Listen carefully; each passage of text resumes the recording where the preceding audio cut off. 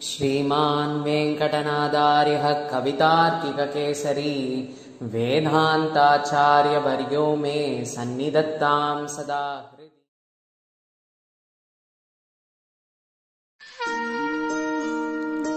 வரமகாலட்சுமி எந்த ஒரு காரியம் செய்தாலும் அது தெய்வீக காரியமானாலும் சரி பௌதீக காரியமானாலும் சரி மகாலட்சுமி கட்டாட்சம் வேண்டும் என்போம் ஒரு கோயிலிலோ வாழும் இல்லத்திலோ மாக்கோலமிட்டு மாவிலை தோரணம் கட்டி விளக்கேற்றி வழிபட்டால் மகாலட்சுமி கட்டாட்சம் உண்டாகும் என்று சொல்கின்றோம்.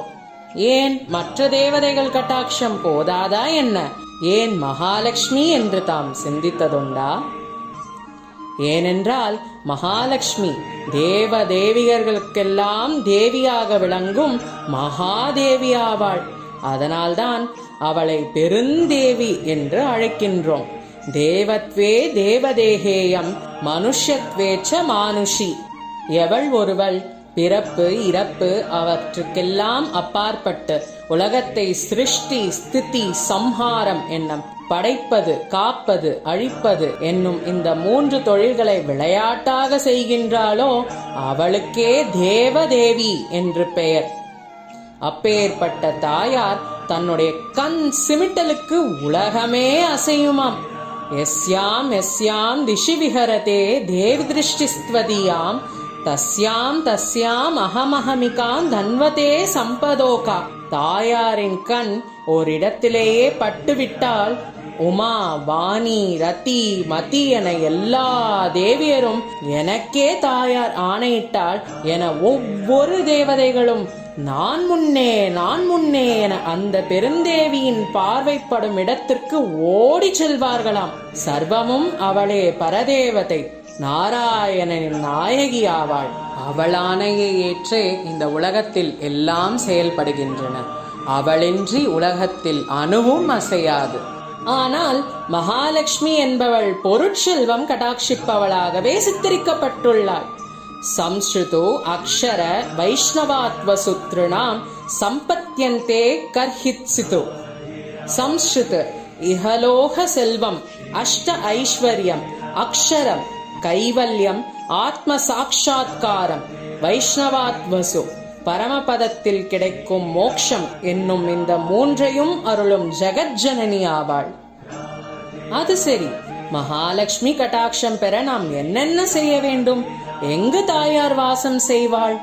மாக்கோலம் பூரண கலசம் வாசனை தூபம் பல்வகை மலர்கள் தோரணம் பலவகை பிரசாதம் மங்கள பொருட்கள் எல்லாம் வைத்துவிட்டால் தாயார் வந்து விடுவாளா என்ன? மகாலட்சுமி பெரிய பிராட்டி அதற்கெல்லாம் அப்பாற்பட்டவளாவாள். பத்ரம் புஷ்பம் பலம் தோயம் யோமே பக்தியா பிரயச்சதி. ததாகம் பக்தி பரித்தம் ஸ்நாமி. பிரேதத்மனா. என்ன கீதையில் கண்ணன் கூறினான் இறைவனிடம் எதை அளித்தாலும் மன தூய்மையோடு பக்தியோடு அளித்தல் வேண்டும். அதுவே சிரேஷ்டமானது. மகாலட்சுமியும் சாக்ஷாத் நாராயணி தானே ஆதிசங்கரர் ஒருமுறை தானம் கேட்டு மூதாட்டி ஒருவர் இல்லத்திற்கு சென்றார். அவளே ஏழை தான் சாப்பிடக்கூட அன்னம் இல்லாத நிலை. தனக்கே ஒன்றுமில்லை என்ற நிலையிலும் தன்னிடம் வைத்திருந்த நெல்லிக்கனியை பசி என்று வந்த சங்கரருக்கு தானம் செய்தாள். அவளுக்காக சங்கரர் பெருந்தேவியை ஸ்தோத்திரம் செய்ய மகாலட்சுமியின் கட்டாட்சத்தால் அங்கு கனகதாரை பொழிந்தது. மகாலட்சுமியார் தாமரை மீது உதித்தவள்.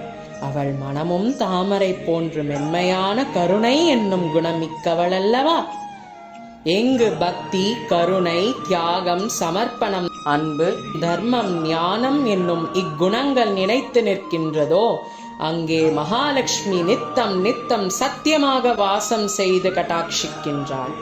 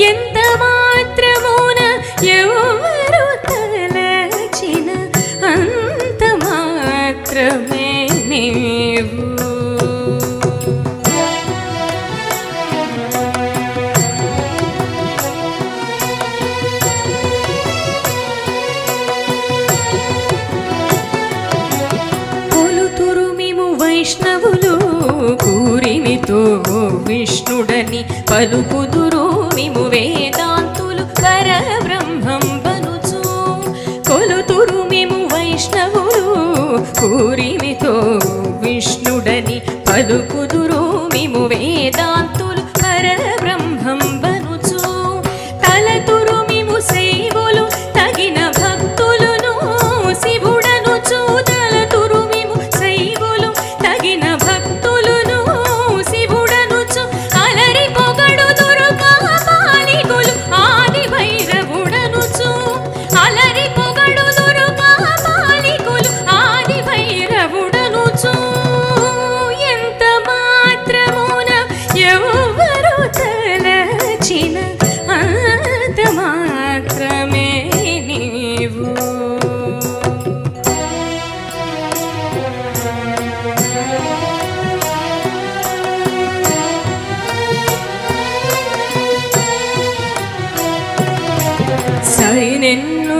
శాక్తేయులు శక్తి రూపుని వనుచు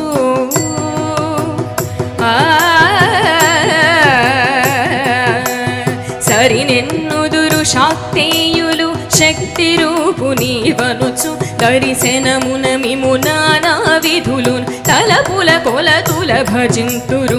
సరి నెన్నుదురు శాక్తేయులు శక్తి రూపునీవనుచు దరిశనమున మిమునా విధులను తలపుల కొలతుల భజింతురు. సిరుల మిమునే అల్ప బుద్ధి తలచిన వారికి అల్పం బవుదు. గరిమల మిము మే ఘనమని తలచిన ఘన బుద్ధులకు ఘనుడవు. నీ వలన కొరతే లేదు మరి నీరు కొలది తామెరవు వల భాగీరథి దరి దరిపావు में